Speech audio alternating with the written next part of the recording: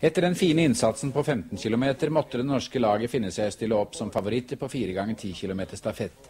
Det hadde vi gjort så mange ganger før, men nesten alltid var det gått galt. Senest ved vinterlekene nede i Seefeld, da alt så så lovende ut. Laget vårt nå består av de tre medaljevinnerne på 15 km, Odd Martinsen på første, Ole Ellefsæter på tredje og Gjermund Eggen på fjerde etappe. Så har man valgt å la vår dobbelte sølvmedaljevinner fra Innsbruck-lekene, Harald Grønningen, gå inn som fjerdemann. Det vil si, han løper annen etappe. Det laget vi var mest redd for, var Finland, som stilte opp i denne rekkefølgen. Kalvi Oikarainen, Taipale, Laurila og Mentyranta. Men la oss nå se på stafetten i sterkt forkortet utgave og gi ordet til Kristen Kvello og Jarle Høysæter. Odd Martinsen på første etappen. Og det er snaut ett minutt igjen til start. Og vi ganske raskt skal ta de som starter på de andre lag. Første etappe på Sverige går Kjell Lid. For Finland kaller vi Oikarainen. For Sovjet Otrobin. Og for eh, Italia, altså lag nummer fem, De Florian. Så det skulle da være de som stiller i første rekke. De andre som starter, får vi komme tilbake til seinere. Det er nå vel 20 sekunder igjen. Og eh, vi skal konsentrere oppmerksomheten. Der har vi Otrobin med startnummer tre på brystet, og ved siden av ham Kjell Lid, svensken og ved siden av han nummer to Oikareinen. Og der kommer så vidt Odd Martinsen inn i bildet med start nummer fire på brystet. Årets Nor norgesmester på 15 km og bronsevinner på 15 km her i verdensmesterskapet. Stafetten, eller starten rett og slett, skal gå hvert øyeblikk. Og der ser vi at Odd Martinsen han eh, tar teten. Og han har en eh, noe ukjent løper ved siden av seg. En veldig tung start i ca. 300 meter. Der går det rett på og stiger nokså mye. Men hvis du ser Martinsen omtrent ja, litt til høyre for midten, eh, kommer helt eh, først. Og vi ser en hvit skikkelse bortefor. Det er nok svensken Kjell Lidia, men Martinsen så vi tydelig gikk her i teten. Og Ivan Otrobin har vi da helt til høyre. Og eh, det er jo såpass jevnt der ennå. Men det stiger mye mer enn det ser ut for. Så en enormt hard start, dette. Der ser vi Martinsen ligger litt bak. Vi ser en litt til venstre. Går helt alene. Mens vi så Otrobin helt eh, til høyre for det treet der, og vi har Kjell Lid i helhvit. Og det så også ut som det var sveitseren Konrad Hischer som gikk helt opp i teten der med startnummer ti. Men det er jo ennå bare 300 meter de har tilbakelagt, så det er jo vanskelig, vanskelig å uh, si hvordan det vil utvikle seg. Alle sammen har vært ute i sju og et halvt minutt, og det skal ikke gå lenge før vi ser førstemann. Tenker Vi skal ha han her i hvert eneste øyeblikk. Vi tenker litt tilbake. Ja, der kommer Martinsen. Er det ja. Odd Martinsen først. Og eh, han skal vi se da Han blir fulgt av nummer ti. Og det er Hisser fra Sveits som ser ut til å gå ganske sterkt. Men det er jo allerede ei luke tilbake. Der kommer vi, kaller vi Oikarainen det. Som nummer tre. Og vi skal ta tida på Martinsen når han kommer fram til litt lenger fram til denne plakaten. Der setter vi i gang klokka, og vi ser at nestemann er hvor mange sekunder bak. Og det er Finn som tar teten. Det er fem sekunder bak. Og så sveitseren på samme. Og så er vi ved seks kilometer Frønsvollsklokka, og uh, så snart førstemann kommer fram der, skal vi sette i gang klokka. Og der får vi jo litt bedre mulighet til å se at dette stemmer. Og det skal vel ikke vare lenge før vi har førstemann der, sannsynligvis. De har nå vært ute i 20 og et halvt minutt. 20 og et halvt minutt. Og Vi skulle tro det blir sluttid på litt over 30 minutter. 31-32. Der kommer Odd Martinsen. Og vi tar tida på han når han kommer fram til denne plakaten. Det er iallfall ingen tvil om hvem det er. Og Legg merke til så rolig og avslappet som Martinsen går. Han har nok det hele under kontroll og blir tiljuvet og heia på av folket som står langs med løypa.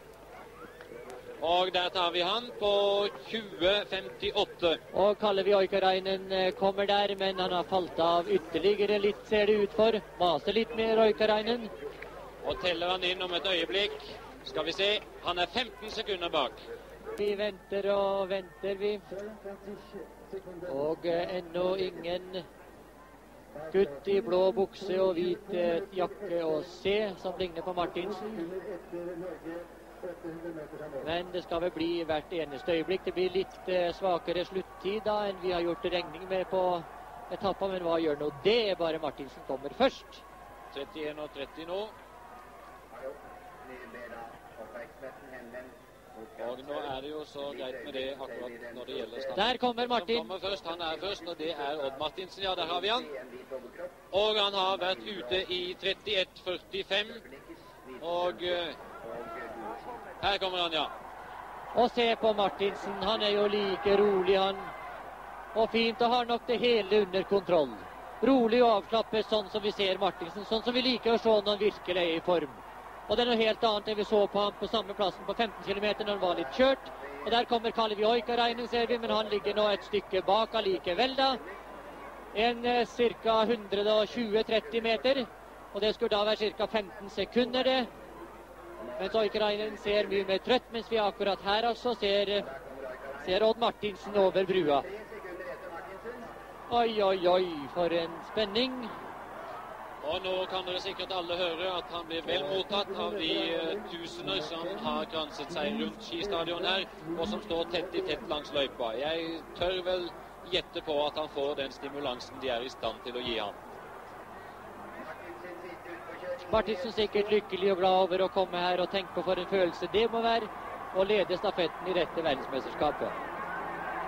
Hviler seg på stava og legg merke til for en ro det er på Martinsen. Ikke noe mas og sjas, men det går så fort fremover, og det er jo tross alt det som teller. Og hør på den jubelen som Martinsen får der han går. Og vi kan se, som ikke dere kan se, Grønningen står bare og tripper, smiler Grønningen over hele sitt ansikt.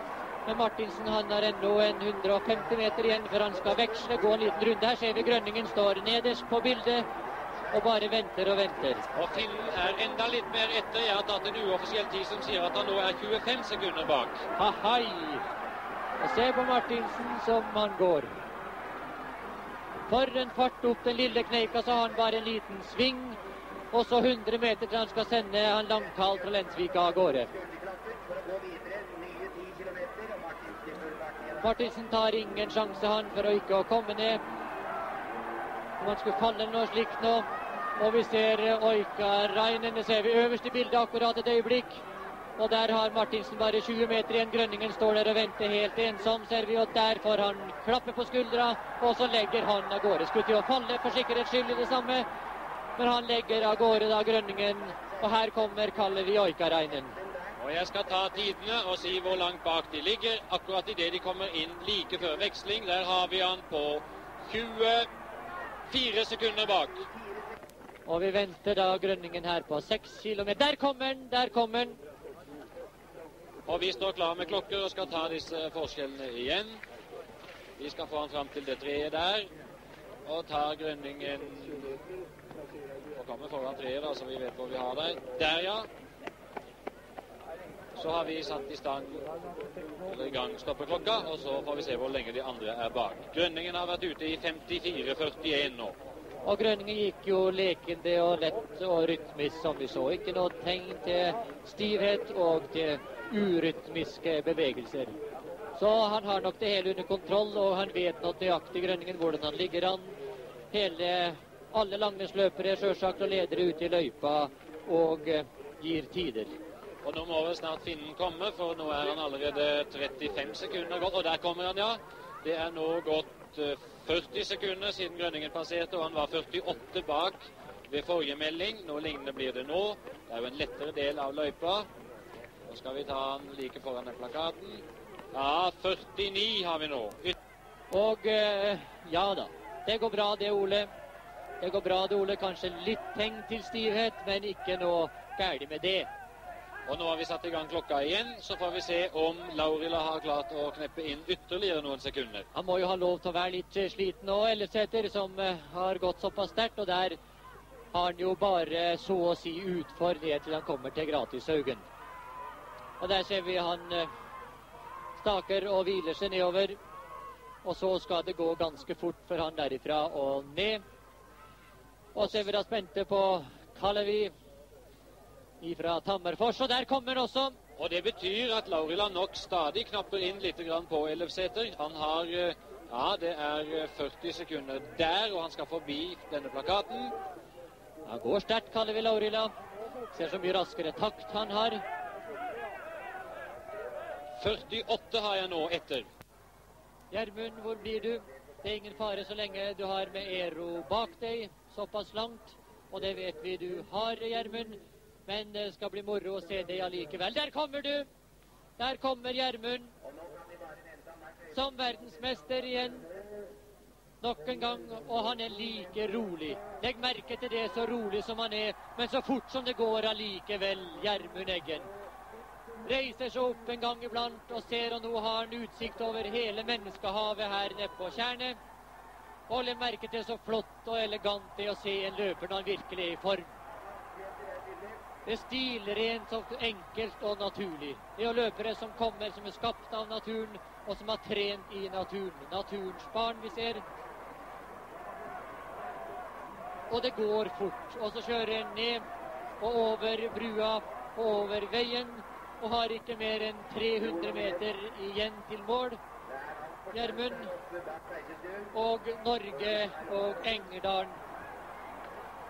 Og vi ser ingenting til uh, hans nærmeste konkurrent Mentiranta foreløpig, og da kan det umulig skje noe annet enn at Norge tar gull. Og jeg skal si det jubel her nede på Besserudtjernet, og det fortjener Gjermund. Og det fortjener Odd Martin, og det fortjener Harald, og det fortjener Ole. Og det fortjener vi alle sammen når vi kan ha Norge. Og der kommer Ero Menteranta, men han ligger jo tilbake, Ero. Han har falt ytterligere av. La oss følge Gjermund Eggen hit inn, da. La Eggen gå og bli verdensmester en gang til. Jeg kan jo fortelle at Mentiranta er et minutt og elleve sekunder etter, så dette er ren utklassing også på siste etappen. Og Gjermund har slått fast at her er Gud som kan gå sprint. Ja, la det være med Mentiranta, la det være med Finland, bare vi får Gjermund og Norge først. Og her kommer det rene triumftog. Gjermund Eggen og Norge, verdensmester i stafett. Der var det hele skjedd. Og se for en jubel han blir mottatt av Grønningen. Og blir løfta på gullstol av Odd Martinsen, Grønningen. Oi, oi, oi, oi, oi, for en glede. Stafett er en øvelse der alt kan skje. Her gjelder det å være med i teten helt fra starten. Odd Martinsen som vår startmann ligger godt fremme. Det er bare sveitseren som er foran. Martinsen slår til i den harde stigningen etter 4,5 km og opparbeider en luke. Finnen Kalevi Oikarainen begynner å stivne. Og sveitseren er også sliten. Resten av feltet ledes av Italia, Russeren Utrobin med tre på brystet og svensken Kjell Lid har ikke lenger den rette farten.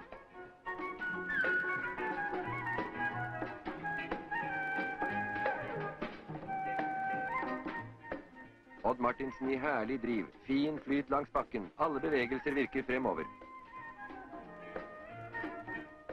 Unggutten fra Nittedal har gått et suverent løp og veksler godt foran finnen.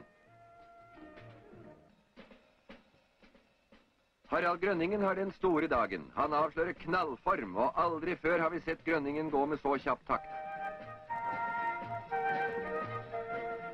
Det gnistrer av ham, og han er dagens klart beste løper.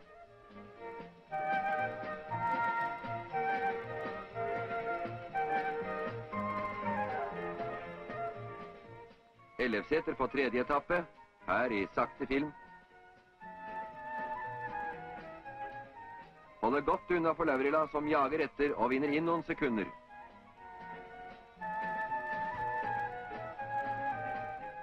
Italia følger godt med og ligger på en klar tredjeplass. Gjermund Eggen venter rastløs ved veksling. Ellefseter i hesteskoen i kolossalt driv.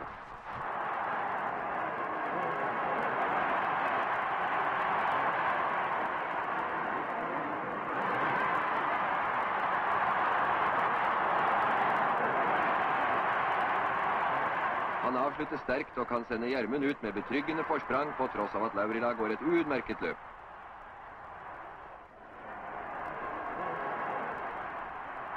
Gjermund Eggen har alt under kontroll på vei mot mål.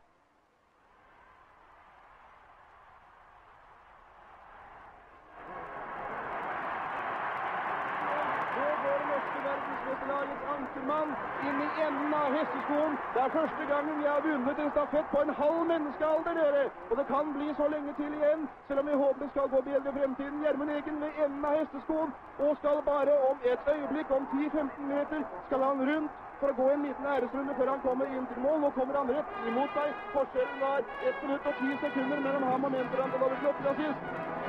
15 meter igjen på Gjermund Eggen, og har bare 10 meter igjen. Og så stormer folk løypene, og Gjermund Eggen er ferdig med sitt løp. Der!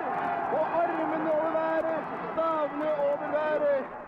En, det er to timer, 14 minutter og 25 sekunder. Og så blir han kastet i været der av Ole Ellefsæter og Harald Grønningen.